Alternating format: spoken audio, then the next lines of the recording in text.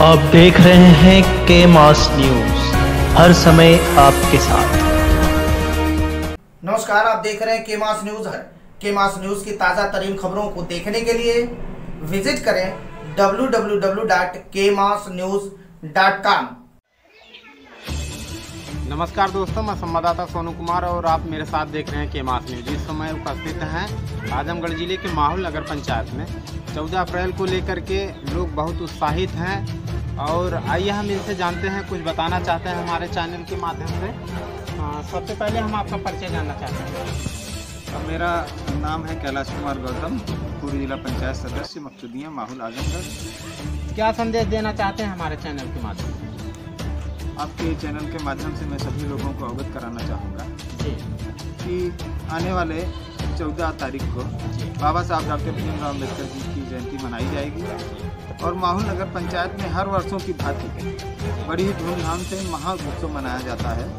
कम से कम 40 गाँव के लोग यहाँ पे अपने गाँव से जुलूस लेके आते हैं और बाबा साहब के चरणों में फूल और माला चढ़ा करके अर्पित करके सब अपने घरों को चले जाते हैं। लेकिन जो बाबा साहब के जन्म का महत्व है, वो ये है कि भारत देश को एक नई जीवन, एक नई ऊर्जा देने का काम बाबा साहब डॉक्टर भीमराव अंबेडकर जी ने किया। बाबा साहब के बारे में कहना चाहूँगा कि गुनगुनाती हुई एक नदी मिल गई, अंधेरे में एक रोशनी मिल गई, आप हमें क्या मिले बाबा साहब? एक नई ज़िंदगी मिल गई, एक नई ज़िंदगी मिल गई। तो मैं चैनल के माध्यम से सभी क्षेत्रवासियों को बाबा साहब डॉक्टर अंबेडकर जयंती की हार्दिक शुभकामनाएँ देना चाहता हूँ और सभी लोगों से आह्वान करना चाहता हूँ कि माहौल में जो महाउत्सव मनाया जाता है बाबा साहब का जन्मोत्सव उसमें आप लोग पधार के इस कार्यक्रम को सफल बनाएँ और शांतिपूर्ण ढंग से एक शांति मार्च होगा और बाबा साहब के संदेशों को घर घर तक गाँव गाँव तक बच्चों तक महिलाओं तक पुरुषों तक सभी तक पहुँचाया जाएगा। ये किस तारीख में ये मनाएँगे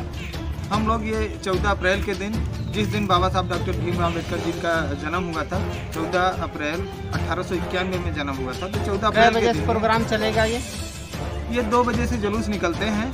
अच्छा जुलूस का प्रोग्राम दो बजे से होता है उसके पहले क्या होता है? उसके पहले कुछ नहीं होता है। उसके पहले जो बाबा साहब की मूर्ति है जी। उस मूर्ति पे गाँव से बच्चे और महिलाएँ हर गाँव से निकल के आते हैं।